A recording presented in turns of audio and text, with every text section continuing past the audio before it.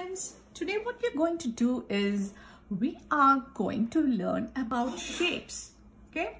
So and then we are going to create a bird maybe a hen or a bird okay? Using the shapes that we learned. So let's see the supplies that we need. We need crayons we need markers we need a paper. So this is half a paper. And I have my whiteboard. If you don't have a whiteboard, you can use a scrap paper to practice draw along with me. Okay, so before we get into the lesson, let's talk about shapes. What are we learning today? It's shapes. So shapes, um, we learned about lines last time, like, right? Like a month back or two months back, lines are dots going on a walk, right? So if a line goes on a walk and then decide to come back where it started, what do we have? We get a shape. So if the line decides to walk like this and then like this and then come back, we have another shape. If the line decides, if the dot decides to go for a walk like that, like that, like that, and then come back, we have a shape. So what a shape is, a shape is not an open line. So if, do we get a shape if I draw this?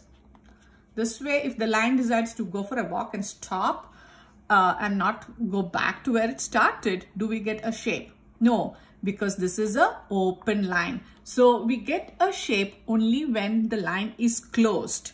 Okay, so there are two different kinds of shape uh, that we use. So one shape, it's uh, the regular shapes that everyone can identify. So what shape, uh, I and you call this shape by one name. We all call this and any other person, if you ask them, would call this by the same name. We, everyone call this a circle, right? What name does everyone call this shape? This shape, everyone call this a triangle. What about mm, this shape? I call this a rectangle and you also would be calling this a rectangle and every other person in the world would be calling this a rectangle. What shape do, what is this shape? This is a diamond shape. You and I call it the uh, diamand and everyone calls it the diamond. So these shapes that are regular and um, has a name, these are called the geometric shape. Okay, so now there are another kind of shape um, like the shape. What is this? You will call that a cloud, but do we have, um, so do we have a name for that shape? Um, no. So, but we can call it a cloud shape, but there is no name because clouds today, you can see a cloud this way, maybe another cloud this way. So clouds shapes are not regular and so there is no particular name for that. What about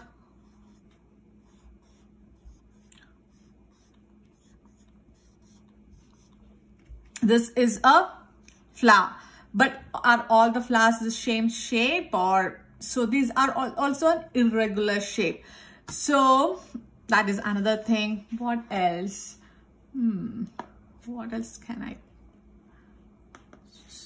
So then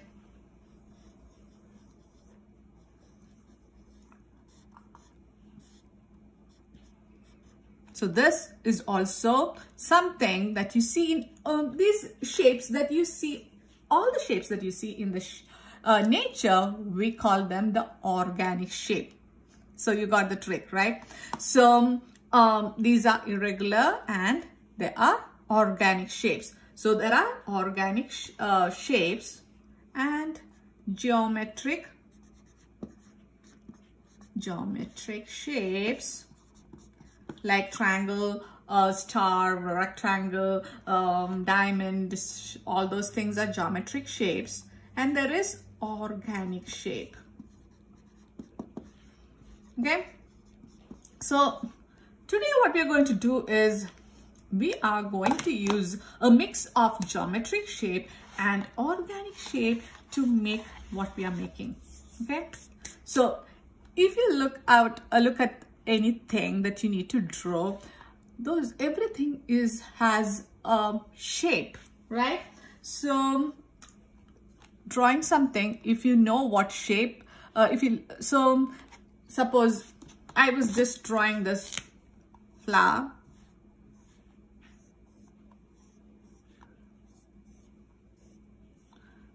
What shape is there inside a, a, circle? So we start with a circle and then we have this uh, organic shape that goes like that and then so if you can identify each shape that you see in whatever you're looking you'll be able to draw that. Okay? So let's draw a basic bird. So today i'm going to show you guys to make a basic bird. So i'm going to take this one. So on one side of your paper, we are going like on the middle maybe, okay? Um, I'm going to um, middle side of the paper. I'm going to put, uh, maybe leave like three finger space on one side. I'm going to put a dot. So this dot is uh, going to be the eye. So if I put it too close, there won't be any space for the head and um, the beak okay so that's why we left this this much space i'm going to make a circle around this so you guys also can make a circle around this. Now i'm going to make a triangle.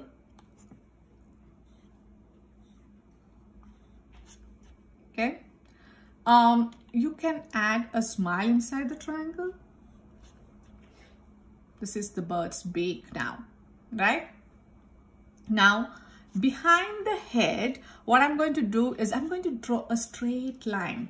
Okay, but this line is not going to go like that. When you reach uh, near towards the this side of the paper, you're going to curve the line upwards hmm, to the corner. So like that.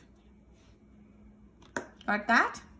Now what we are going to do is we are going to draw a long swooping line from here okay to the here. So this is going to be the belly of the bird.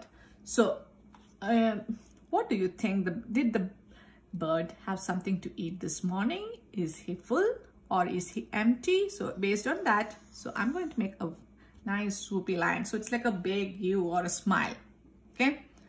Now, what we are going to do is we are going to um, think of a nice shape for his feathers. Okay. So do you want to make pointy shapes or round shapes? Think of what shape you're going to put. And um, maybe we'll put the, uh, so we, we will do the feather in the end. First let's draw the legs okay? So go to the bottom of the belly and draw a curved line for one side of the leg.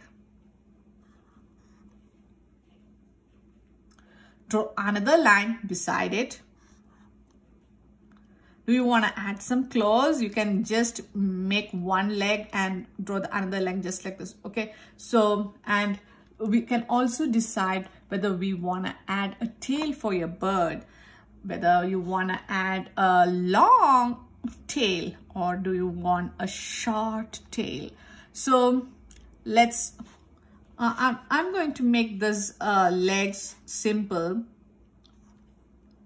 like that. You can either make it like this or let me show you another way you can draw the legs. So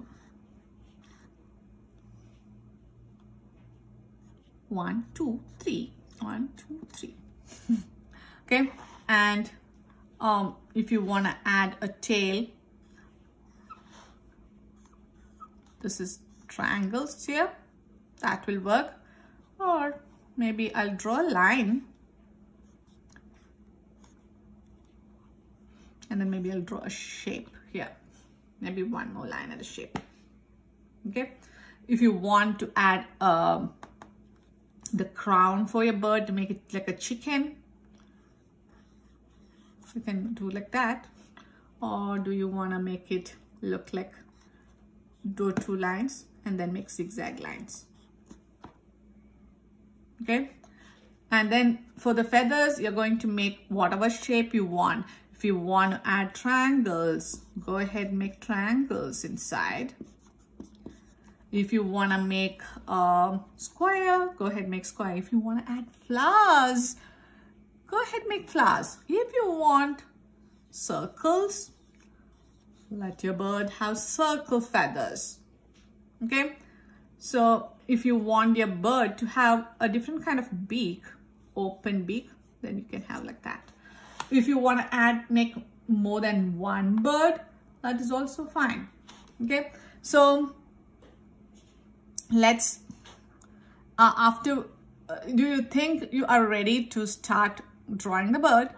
If so i'm going to take if you want to practice one more time this is a pretty easy bird right? We are just making a bird with just a simple shape. So i'm going to take the paper. We are putting it sideways okay? And then what are we going to do? We are going to start with the eye so if you want, you can start with a pencil. Okay, I'm using this so you guys can see better. Uh, I'm going to maybe leave three finger space. I need, I'm going to put a big, maybe four finger space, maybe, okay, four finger space for the eye. I'm going to put a dot here. I'm going to make the dot a little bit more bigger. Okay, I'm going to make a circle around the eyes. Now, what was the next step? We need to make the beak. So, uh, you can make a triangle. Or if you want to make like the beak is like open beak, mouth, you can make another triangle, right? I'm going to make a line to make it look like a smile line the beak. Okay? Now remember the line? It's not just straight but it's like going upwards a little bit. Okay? So if you want you can practice with your finger going upwards. It's like a smile line. But here it starts here and then go up. Okay? Now i'm going to make the uh the belly of the bird so I'm going to start from here, the head, and then go like that. So I practice with my finger one or two times, and I'm going to take my, so he had a big breakfast, I guess. Okay, so I have that. Now I'm going to make the legs. So two curvy lines, and I make his toes or claws. You want to make the tail like a, a triangles, like a triangle, a triangle, triangle, or you can just make the lines and circles or whatever shape you want. I'm going to make triangles like that. Okay. Now I'm going to make the the bird's crown make this is a chicken that we're making right so I'm going to make okay I'm just sad at that. So whatever shape you want to put inside the bird, you are going to put that. You're just choosing one shape, okay? So I'm going to make this, maybe I'll add some lines in here also. I'm going to make this bird a polka dot bird. You can't see the whole circle, so I'm just making half circles here on the edges and some big polka dots. If you have space, if you want to make a smaller bird, you can make here. Maybe I'm going to make a smaller one. Um, this time I'm going to make it uh, like super fast, okay? If you want, you can I will, I'll start with a circle. Maybe this is a baby bird.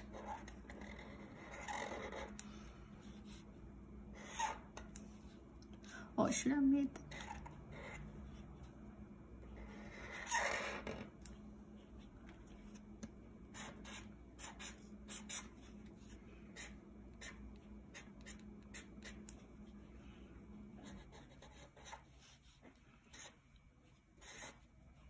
You don't have to use the same shape for the baby bird. If you want, you can use a different shape. Maybe I'll put one more here in the front.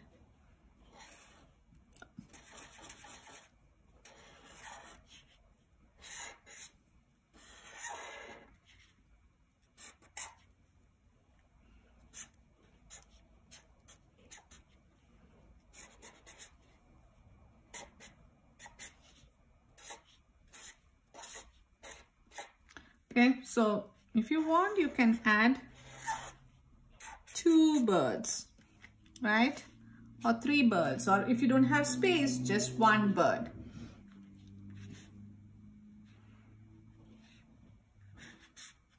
I'm going to draw a line behind the birds like that. Not drawing on top of the bird but behind. So we have the bird ready. Now let's take or markers or crayons. Oh, before you do this, um, you take out the marker, uh, oh yeah, you take the marker and you're taking the black marker and you're going to go over all the lines that you made with a pencil. Go over all the lines to make it look nice and shiny. Okay, I'm going to use this marker. You guys go ahead, go over all the lines.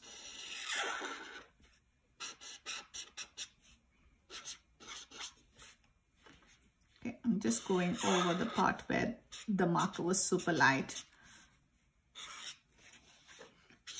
So what I'm going to, uh, after this, what I'm going to do is I'm going to start coloring my bird. Okay. So if you're not done outlining, if I'm going too fast, you can just um, pause the video and then come back. Okay. So what I'm going to do next is I'm going to choose whatever color I want for the the shapes okay?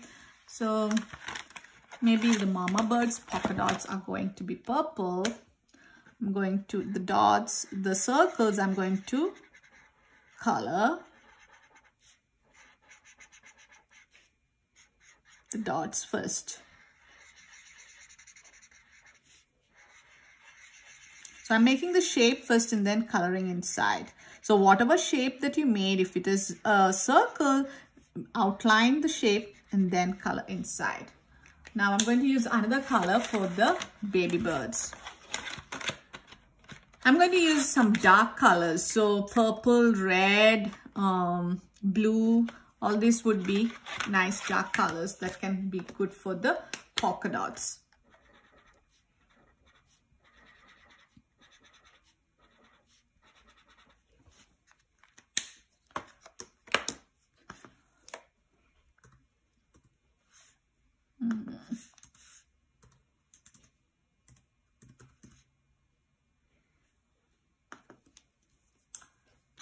Red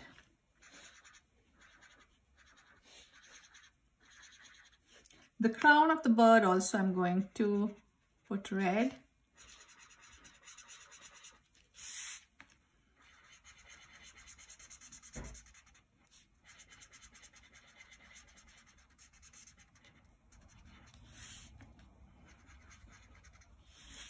Now I'm going to take yellow and color the beak.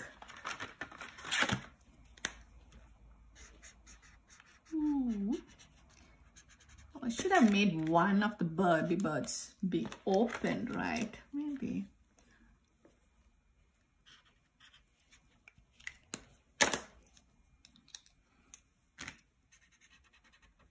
Okay.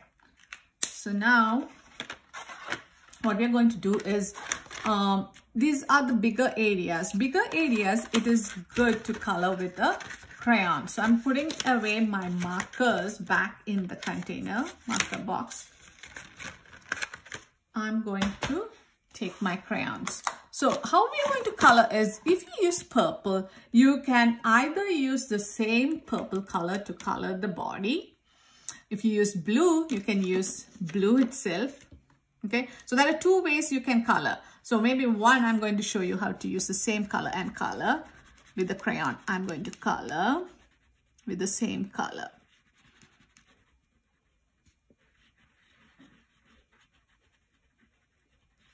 So when you use the same color, it will blend in nicely. That is the reason I'm using the same color. And still you can see the polka dots, right?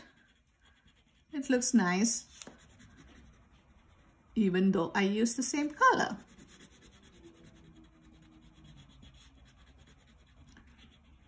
Color in nicely as best as you can.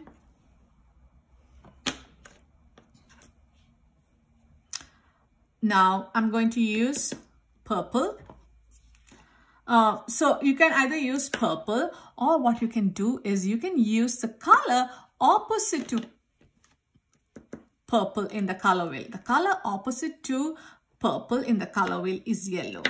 Color opposite to blue in the color wheel is orange. So if you don't want to use blue on top of blue, you can either use orange or blue. Okay, I'm going to use yellow here.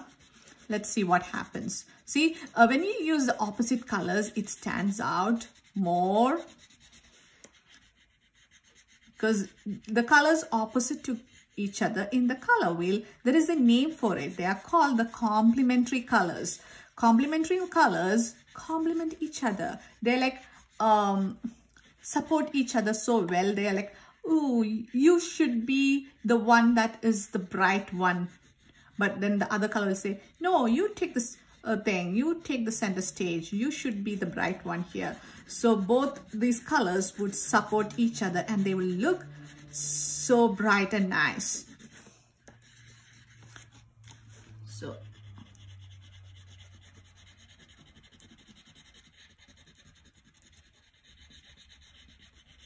So the beak, what I'm going to do is I'm going to add a little bit of orange to the mama bird's beak because otherwise the beak and the, uh, the head is going to be one color. Now for red, as I said, you can either use a red crayon to color this to, for it to blend in or you can use the opposite color of red in the color wheel. So the opposite color of red in the color wheel is green. If you use that, this will stand out. But I'm going to use the same color. I just want, I'm just making the mama bird stand out.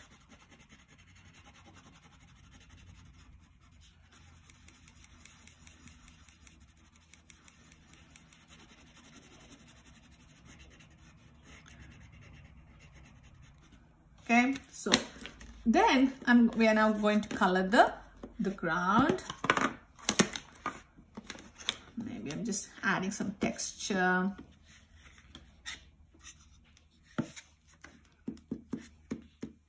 Uh, this happened because this lines is accidental but it's okay. So I'm just going to color. See that you're not coloring on the uh, the chicks and the hen but below that I'm holding my crayon this way and then coloring.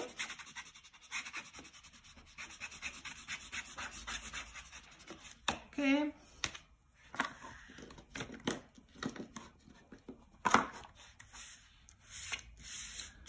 I'm going to turn this around and color from the upside down. I'm using blue to color the sky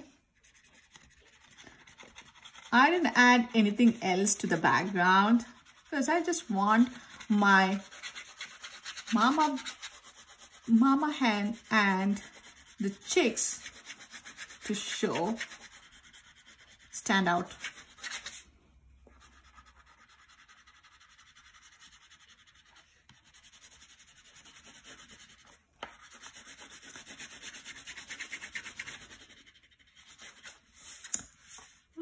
Okay we are done. So what i want you guys to do is i want you guys to take a picture of this and email me in the email id i'm putting at the end of the video. I would like to see how your mama bird and the baby birds turned out. Okay? So before we go let's quickly go over the shapes and how they are divided. The shapes are any close, a closed line is called a shape, right? And shapes can be either organic shapes or geometric shapes. Organic shapes are things that you, shapes that you see in the nature like clouds, leaves, flowers, um, birds, all that are organic shapes. But uh, geometric shapes are shapes that you will be able to identify like everyone will be able to name the shape. So those shapes that we use in math and all those things they are the man-made things. You have um, geometric shapes like triangle circle rectangle and so on. Okay? So i hope you guys had fun making this uh, bird um, painting or drawing. And not painting we didn't paint. So till we meet next time bye bye